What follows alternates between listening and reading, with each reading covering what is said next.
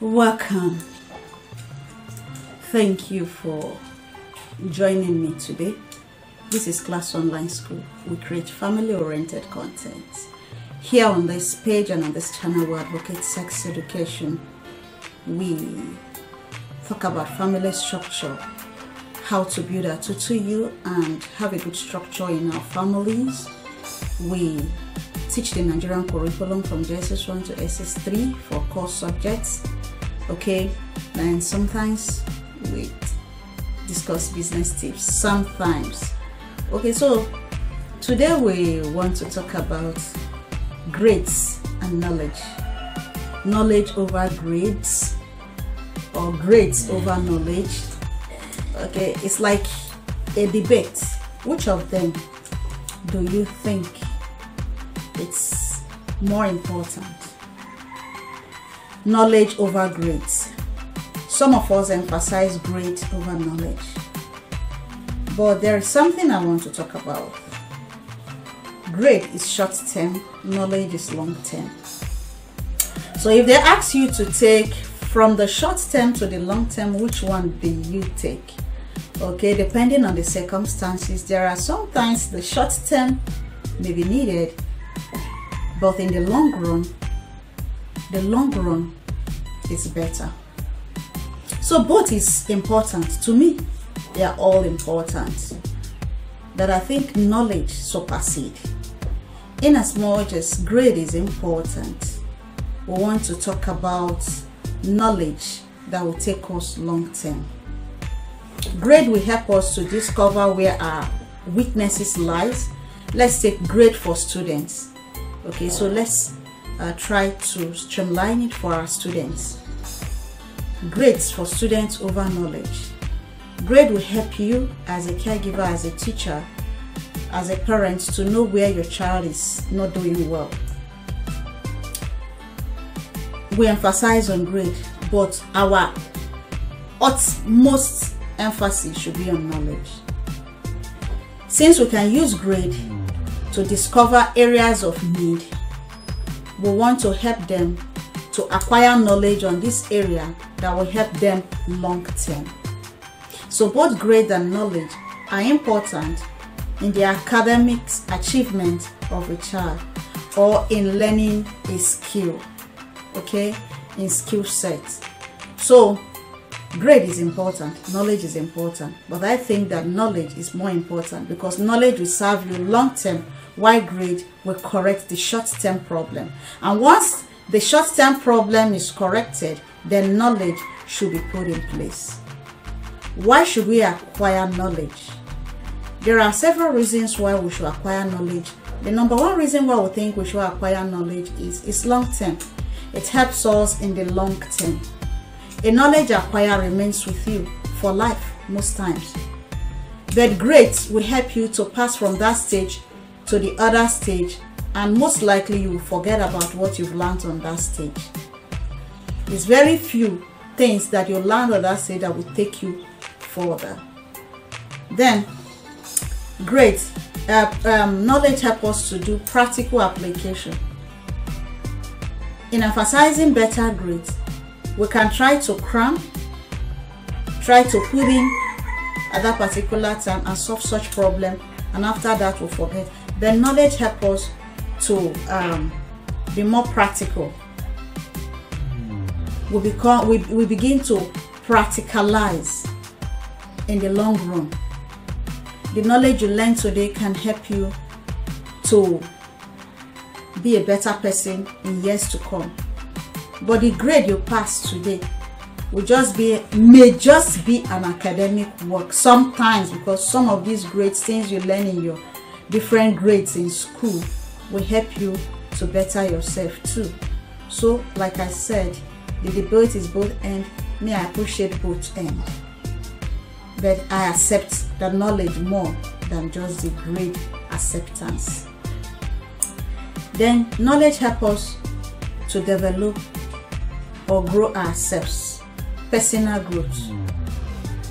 Knowledge applied to things help you to discover you and help you to discover new knowledge and help you to discover new things that will make you a better person. but academic grade will help you to pass that class understand that concept uh, that concept at that time that content at that time and then you make a better grade. Move on and you might even forget all the concepts. Okay? Most of the concepts we learned in the in our year one of uh, higher school we must have forgotten some of them. Few of them is sticking with us. But the knowledge we put in ourselves have remained over the years. I don't know whether i'm talking sense but that's what i think and that's what has worked for me. Then knowledge is innovative and creative. If you allow a child to come up with a solution, apply the knowledge he has acquired over the years in a mathematical um, problem, you see him applying different principle because he has acquired knowledge and he come up with a concrete creative way of solving that problem. But some of us can just cram that formula at that time, pass it, forget about it, and you see a younger person asking you about something you've passed through. And you said ah, we did it then but i forgot. Because that is just passing uh, making grades but not knowledge being imbibed. We want to imbibe knowledge in as much as we are. Quest for having good grades. Let the knowledge we um, acquire during these grade um, improvements let's not forget it. Let it stick into us then knowledge helps us to be adaptable adaptability. You look at the problem solving this way didn't work. You look at the problem this way didn't work. You look forward it works. It makes you to adaptable to different situation. And you see how you can come in and save the situation. Okay? So knowledge helps you to be adaptable grade wants you to focus pass and move on. Problem solving. Knowledge help you to brainstorm.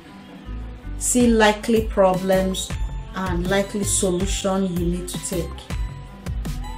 Okay, helps you to brainstorm. Grade wants you to read the content you have at that time, pass your exam, make you be the best at what you do and you go forward. You see, life have taught me that people who come up with first class are not always the best in their field of study. First class people are not the best engineers. First class people are not the best businessmen and women. But people who apply knowledge and skills, the knowledge they gain from skills they become better than those who have um, gotten the great um, knowledge or the great uh, performance. So look back at your high school, your secondary school, look at those who were doing good. Have they been the best in their field when they come out of school? Are they the best? Most times they are not. Few of them are, yes. There are credits to some who come out of school with first class and they are doing great in their field. The majority of the time, it's not because they made first class that make them to be good at what they are doing. It's because they apply knowledge to what they are doing. So knowledge application is important. And then finally, knowledge helps you to be independent. You try to figure it yourself. You try to make it in different ways to work out. You look at different options. Makes you independent. So both are okay. Somebody asked this question in one of my social i think on youtube. Knowledge over grade which is better? Both are fine. Both are okay. But i prefer knowledge because it helps you long term.